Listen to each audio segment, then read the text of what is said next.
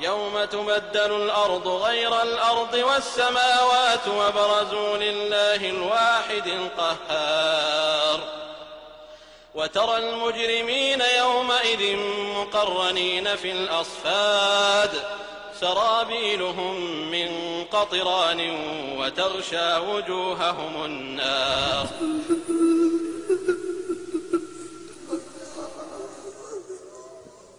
يا الله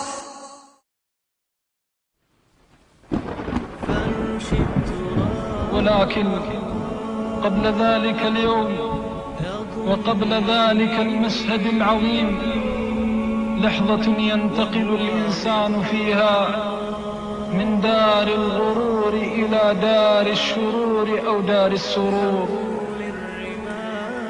لحظة من اللحظات التي يكتب فيها للعبد أنه منتقل إلى ذلك اليوم.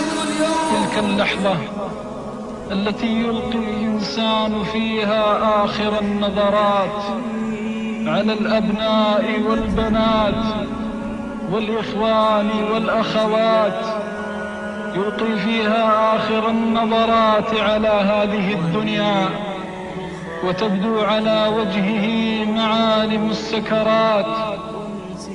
وتخرج من صميم قلبه الآهات والزفرات.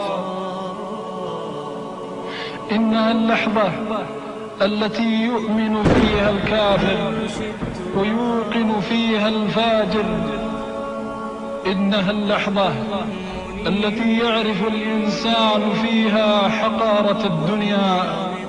إنها اللحظة التي يحس الإنسان فيها أنه فرط كثيرا في جنب الله. إنها اللحظة التي يحس الإنسان فيها بالحسرة والألم على كل لحظة فرط فيها في جنب الله. يناديه رباه رباه ارجعوني لعلي أعمل صالحا فيما تركت. إنها اللحظة الحاسمة والساعة القاصمة التي يدعو فيها رسول الله.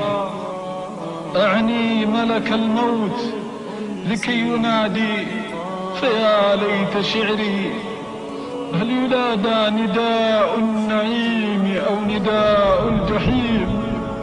ألا ليت شعري هل يقال يا أيتها النفس المطمئنة؟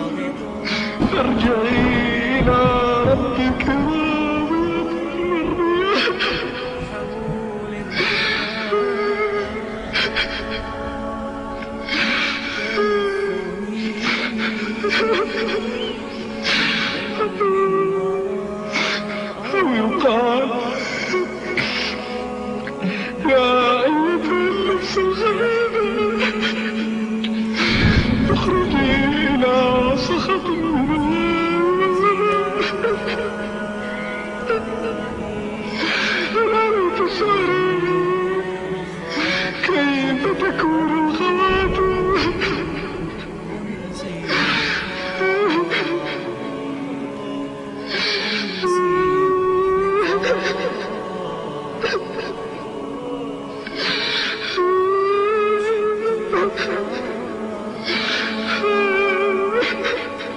ليت شعري تلك الساعة التي قصت مفاجأ الصالحين الأبرار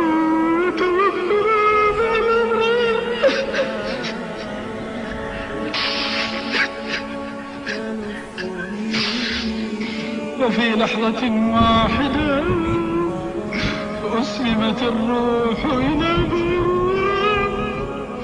والتفت الساق بالساق. إلى ربك يومئذ المساق.